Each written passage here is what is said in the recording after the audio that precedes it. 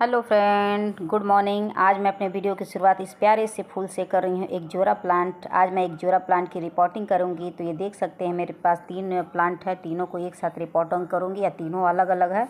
और अगर आपके पास गमले का अभाव है तो आप भी मेरे तरीके से रिपोर्टिंग कर सकते हैं। बस शर्त यह है कि आप गमला बड़ा ले सकते हैं। बड़े गमले में तीन प्लांट, चार प्लांट आराम से लग जाते हैं। और देखने में भी काफ़ी खूबसूरत लगते हैं। तो ये देख रहे हैं, मेरा कितना खूबसूरत है। और तीनों तीन कलर का है तो बेहद खूबसूरत लगे। चलिए तो पॉटिंग मिक्स तैयार करते हैं फ्रेंड तो पॉटिंग मिक्स में आप देख सकते हैं, ये मैंने केचुए की खाद ली है और ये पहले की मेरी तैयार पॉटिंग मिक्स थी। और देखिए इसमें फर्टिलाइज़र के तौर पे मैं क्या क्या ले रही हूँ। तो इसमें मैं ये सीविड है और ये मेरा फंगेसाइड है। और देखिए ये सीविड के कुछ दाने मैं इसमें डाल दे रही हूँ। उसके बाद फंगस साइड पाउडर डालूँगी। तो देख सकते हैं मैं फंगस साइड पाउडर डाल दे रही हूँ। उसके बाद मैं कैल्शियम की कुछ दाने डालूँगी अभी। पैकेट फाड़ लूँ फ्रेंड। तो ये देख सकते हैं कैल्शियम का है। तो इसके भी मैं कुछ दाने डालूँगी और ये देख सकते हैं मेरा फंगिसाइड है और ये मेरा सीवेड है। इस मतलब दो डाल दी हूँ, कैल्शियम बचा है। कैल्शियम के भी मैं कुछ दाने डाल दे रही हूँ। प्लांट की ग्रोथ के लिए अच्छा रहेगा। और उसके बाद थोड़ा मैं पोटास डालूँगी। तो ये देख सकते हैं, मैंने पोटास भी लाया हुआ है। इसके भी मैं कुछ हिस्सा डालूँगी। तो एक चम्मच के करीब ये भी मैंने लिया है और मैंने बहुत ही अच्छी वेल्ड्रेन मिट्टी तैयार की हुई है और ये मेरा न्यू वाला प्लांट है और दो ओल्ड प्लांट है, उस तीनों को इकट्ठे लगाऊँगी। तो चलिए इसकी कटिंग काट, कर ले रहे हैं बैग की और ये देख सकते हैं कितनी गंदी मिट्टी में लगी हुई है, चिकनी मिट्टी में। तो मैं अपने इस वेल्डर मिट्टी में डाल दूँगी, इसकी चिकनी मिट्टी तो सब कवर कर लेगा। तो चलिए मैं अच्छे से इसकी पहले चिकनी मिट्टी तोड़ लेती हूँ फ्रेंड। उसके बाद तब मैं लगा के दिखाऊँगी। ये देख सकते हैं कितनी गंदी मिट्टी है। बहुत ही लबलबी चिकनी है एकदम। इसमें देखिए जड़ें बिल्कुल विकास नहीं कर रही थी, ख़राब हो रहा था। अगर मैं इसको ऐसे ही लगा देती तो कुछ दिन बाद ये मेरा प्लांट मर जाता, बचता नहीं।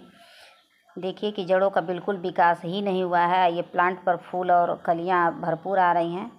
तो ये कुछ समय बाद यही ख़राब हो जाता तो यही शिकायत आता है कि नर्सरी से लाने के बाद क्यों अचानक मर जाता है प्लांट तो देख सकते हैं। यही कारण है, नर्सरी से लाने के बाद अचानक से मर जाते हैं प्लांट, क्योंकि जड़ों का विकास तो हो नहीं पाता है। तो आप मिट्टी एक अच्छी वेलड्रेन तैयार करिएगा तो मैं अच्छी मिट्टी ली हूँ, ताकि इसमें जो जड़ें जो ख़राब हुई हैं, उसका अच्छे से विकास हो। तो मैंने क्या लिया है? बालू लिया है, गार्डन की मिट्टी ली है और धान की भूसी ली है कोकोपीट लिया सबको मिला के और मैं अच्छे से एक मिट्टी तैयार करके रखी थी पहले से, और उसमें मैंने और भी फर्टिलाइज़र डाल दिया देख सकते हैं कि कितना मतलब ये, इसकी जड़ों का विकास बिल्कुल नहीं हुआ है। और ये देख सकते हैं, मैंने इसको गमले में से निकाल लिया है। दूसरा वाला भी प्लांट फ्रेंड, मैंने वीडियो को कई बार में शूट किया था, इस वजह से थोड़ा सा आपको स्किप दिख रहा होगा। तो देख सकते हैं, इसमें पूरा ये रूट बाउंड हो गया था तो इसके कारण पत्तियाँ मेरी पीली हो रही थी तो मैं आधी मिट्टी इसकी तोड़ कर निकाल लूँगी, उसके बाद तब मैं लगाऊँगी। चलिए तो इसकी आधी मिट्टी तोड़ लेते हैं। मेरे साथ बने रहिएगा देखिएगा, मैं, देखिए, इसकी मिट्टी मैंने कितनी अच्छी तैयार की है। कि नुकीली चीज़ों से भी खोदने पर निकल जा रहा है और जड़ें भी देखिए कितनी अच्छी विकास हुई है। तो आप भी जब भी प्लांट वगैरह लगाइए तो एक बार चिकनी मिट्टी चेक करके उसको तोड़ के निकाल दीजिए। उसके बाद लगाएँगे तो ऐसे ही आपकी जड़ें तैयार होंगी। तो आप देख सकते हैं कितनी अच्छी है। बिल्कुल भुरभुरी भुरभुरी मिट्टी में अच्छे से जड़ों का विकास होता है और उस टाइप के मिट्टी में जड़ों का विकास नहीं होता। आपने देखा ही दोनों रिज़ल्ट कि मैंने एक, मेरी एक मिट्टी थी, एक नर्सरी की थी। तो दोनों देख ही सकते हैं। चलिए तीसरे वाले को भी निकाल लेते हैं। तो ये मेरा तीसरा वाला प्लांट है, इसको भी गमले में से निकाल लेती हूँ तो फिर आपसे मैं मिलती हूँ। चलिए फ्रेंड तो देखिए मैंने इसको भी निकाल लिया है तो इसकी भी जड़ें देखिए मेरी बहुत अच्छे से विकास कर रही थी। तो आप भी मेरी तरीके से वेल्डर मिट्टी में लगाएँगे तो आपका भी प्लांट स्वस्थ रहेगा और जड़ों का अच्छे से विकास होगा। तो देख सकते हैं, बहुत अच्छी मिट्टी और सारी मिट्टी को मैं इसी में मिला दूँगी। मिलाने के बाद, उसके बाद मिलाने के बाद तब मैं रिपोर्टिंग करूँगी। तो चलिए इसी में डाल लेते हैं, मिला लेते हैं। उसके बाद तब हम रिपोर्टिंग करते हैं फ्रेंड तो ये देख सकते हैं, मैंने अच्छे से मिला लिया है, क्योंकि एक ही हाथ से मुझे करना था फ्रेंड तो मैं स्किप कर कर के वीडियो को तब अपना मिट्टी को मिला रही थी और कर रही थी. तो चलिए गमला दिखाती हूँ मैंने किस साइज़ का लिया है. तो ये देख सकते हैं, मेरा गमला है बाईस इंच का गमला है और इसी में मैं तीनों प्लांट को लगाऊँगी तो ये बहुत अच्छे से चल जाएगा और अच्छे से ग्रो करेगा.